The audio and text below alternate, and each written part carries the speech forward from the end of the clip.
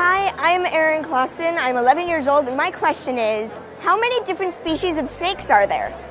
Hello, my name is uh, Dr. Christoph Mans. I am uh, one of uh, exotic animal specialists here at the University of Wisconsin's UW Veterinary Care Hospital.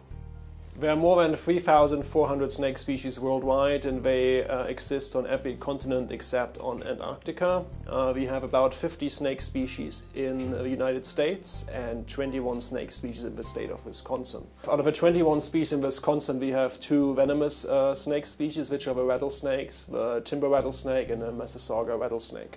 This snake here is a corn snake. Uh, it's native to the southeast and central United States, and it's one of the most popular pet snakes we have.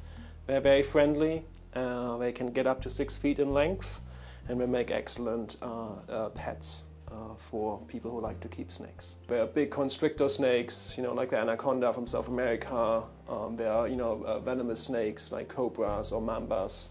Um, it really varies tremendously their anatomy in terms of their jaws, some have more fangs than others. Most snakes eat uh, other animals, like usually rodents um, or bigger mammals. Uh, some snakes, snakes, like garter snakes, only eat uh, fish.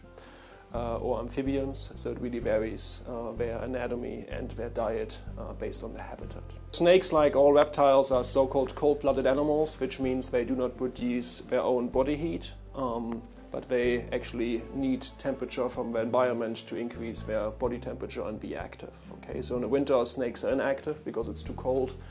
While in the summer, uh, they are more active because it's warm. Uh, snakes are not slimy at all, they are not scary. Their skin is very dry and smooth, and they will shed their skin several times a year, and the whole skin should come off in one layer, and underneath you have a new uh, skin layer. Snakes uh, flick their tongue in order to smell better. They take little smell molecules and put it against an organ in their nose so they have a better idea of their environment. So every time you see a, snake tongue flicking is actually trying to smell uh, what's going on in his environment.